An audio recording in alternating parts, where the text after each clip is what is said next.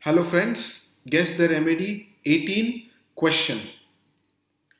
So today I'm going to discuss with you a case of a middle-aged woman having migraine. She starts describing her complaints with weakness. She says, I have weakness, especially since the last 15 20 days, and I feel very bad that I am feeling weak. In spite of that, neither is my son or my husband helping me, they are not supporting me. And I have to do all the household work. And she starts crying.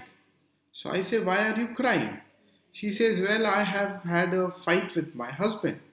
I said, What was the fight? So she says, The fight is that one of my very close relatives wanted me to distribute marriage cards for their daughter's wedding in my town. And because my husband does not get along with them, he said, If you want to distribute those cards, you can go alone. I will not come with you. But I had a big fight with him, and I told him that you have to come with me. Only then I will distribute the cards. So, with, after a long fight, he came with me and we distributed the cards. And since then, he is not talking with me properly. So I feel very sad. and that is why I am weeping. I say, What else? Why are you weeping? No, if he does not come with me, then how will I go? Now, how will I get vegetables? How will I go out? Um, you, you know, I get scared very easily when I am crossing the street. So I always um, take him along with me. I don't go outside alone. I always take someone along with me. He knows all this. Then why did he say that you go alone? He knows I cannot go alone. So that is her problem.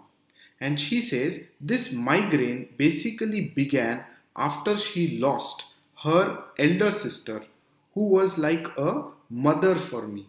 She was like mother. She used to take care of every single need of mine. She used to call me daily. She used to help me financially. She used to help me with my cooking. She used to help in all ways. And she is now not there. So I feel like I have lost my mother. So that is her main grief or sadness after which the migraine began. So please tell me what do you think is the remedy?